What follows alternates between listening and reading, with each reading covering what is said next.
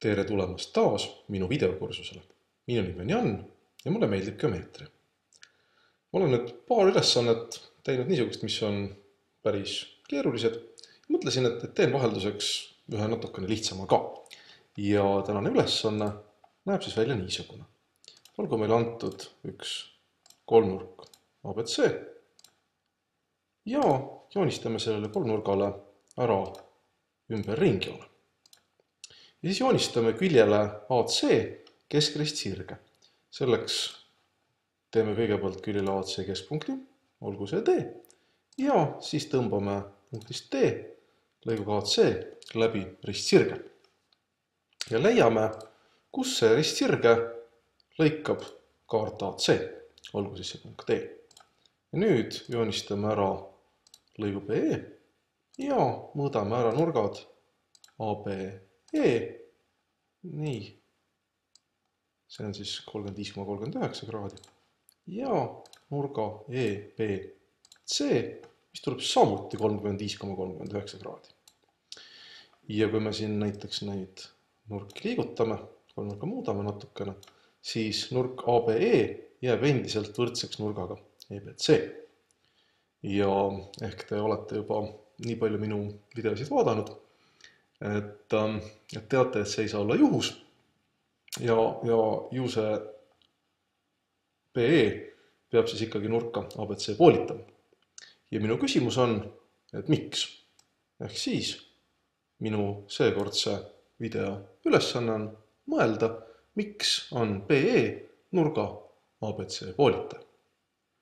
pange see video natukeseks kinni, mõtisklege, mängige GeoGebra töölehega ja kui mõtlete midagi välja või, või tahate vihjet, siis pange see video jälle käima. head nuputamist teile. ja tere tulemast tagasi. ma loodan, et te nuputasite natukene selle ülesande kallal ja saite lahenduse kätte ja proovime siis nüüd koos ka seda ülesannet lõpuni lahendada. no mida meil on tarvis, on kahe piirdenurga võrdlust. ja me teame piirdenurkade kohta seda, et nad on pool vastavast kesknurgast nii et äkki õnnestub meil seda võrdsust näidata, kui me uurime neid vastavaid kesknurki. nii et teeme siis nii, et äh, joonistame ära selle ringele keskpunkti, olgu see F ja need vastavad kesknurgad AFE ja EFC ja me tegelikult juba teame, et see äh, kesknurk peab olema kaks korda suurem kui vastav piirdenurk. noh, siin väikese ümardamispeaga, aga kui me neid punkte siin liigutame, siis me näeme, et noh, näiteks siia piirdenurk on siis kolmkümmend kaheksa koma null neli kraadi, kesknurk siis seitsekümmend kuus koma null kaheksa kraadi. ja tõestamaks, et need piirdenurgad on võrdsed, piisab tõestada, et need vastavad kesknurgad on võrdsed.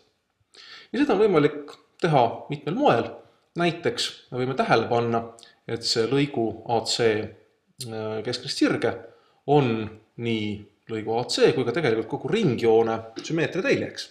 mis tähendab seda, et kaar AE on võrdne kaarega EC ehk siis E on kaare AC keskpunkt ja seetõttu need kesknurgad, mis siis toetuvad võrdsele kaarele, peavad samuti olema võrdsed.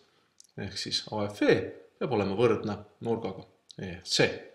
järelikult on võrdsed ka vastavad piirdenurgad ja järelikult PE on nurga abc poolitaja nii et see, mida me sellest ülesandest õpime, on siis see, et kui tõmmata lõik äh, kolmnurga tipust kolmnurga ümberringjoone vastaskaare keskpunkti ehk siis AC keskpunkti, siis see lõik BE osutub selle nurga, nurga poolitajaks. et see on see, see sõnum, mis siis sellest ülesandest tuleks kaasa võtta.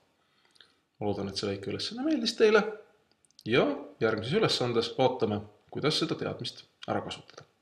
kohtumiseni!